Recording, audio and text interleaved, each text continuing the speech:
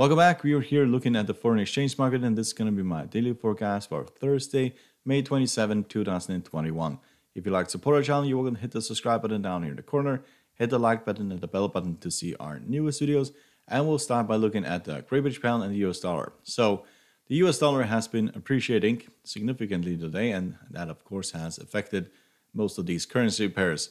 So, we can see that the uh, Great British Pound US dollar is down 0.28 uh, percent. We're approaching the 20 exponential moving average, trading at 1412, and uh, we're also approaching the middle of the Bollinger Band here. If you look at technical indicators, we can see that MACD has crossed the signal line. That's a bearish indication. RSI is bearish, CCI is becoming bearish, and the stochastic is also bearish. So momentum is definitely to the downside. The question is whether or not we break the 20 exponential, then we'll probably go to 40, 50, and 100 down here should be as far as this will go. That is where we have found major support in the past. To the upside, if we manage to take out these previous highs here, then we are going significantly higher. But That will probably be a long time from now. It looks like momentum is definitely to the downside, and therefore it's kind of expected for this to, to continue breaking down. So let's look at the US dollar, Japanese yen. We can see that this has rallied up towards the 50 moving average trading at 109 at this current stage. If we break above the uh, 50 moving average, then we will probably go up towards these previous highs here at 109, uh, 721.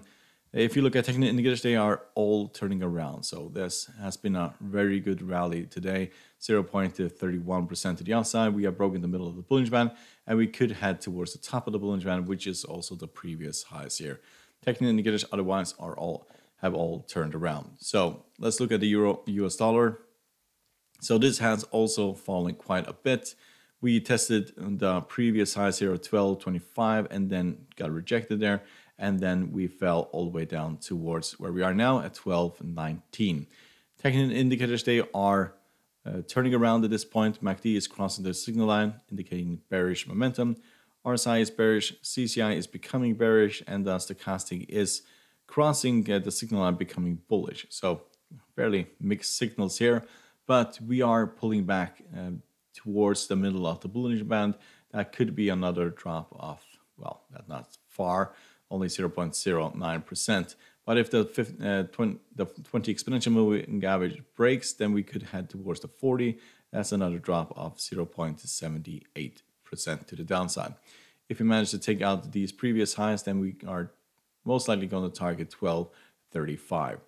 So let's look at the Aussie US dollar, and you can see that we have broken down yet again. We have been rallying the last two trading days, but now we just pull back towards the 100 moving average, and uh, we basically found support at the 150 moving average. So there's nothing really been happening here for the Aussie US dollar. We have been trading within this kind of square for a very long time now, and we basically need to break below the 150 to go to 200 and 300 or break above these resistance lines in order to go to 0.80 and uh, none of that is really happening this at this point so if you look at technical indicators we can see the MACD is bearish RSI is bearish the CCI is bearish and the stochastic is bullish at this point so US dollar Canadian dollar we have started to rally uh, rally which uh, was expected. Usually when this hangs at, hangs at a certain point, it breaks to the downside. And also for the downside, when we hang at the lower part, it basically breaks to the upside. So at this point, we are testing the 20 exponential moving average. And we, if that breaks, we could go to the 40, which is at 12.25, and then the 50 right here, which also should be the resistant resistant line, which is roughly give or take at this point 12.33. So that's also, we'll be basically getting very overstretched here. But first of all, we need to break the middle of the Bollinger Band in order to go higher. Technical indicators, they are all turning around um, and uh, are favoring the upside at this current stage. So, hope you find this helpful. You're welcome to support the channel by subscribing, hit the like button and the bell button to see our newest videos. And uh, good luck and thank you very much.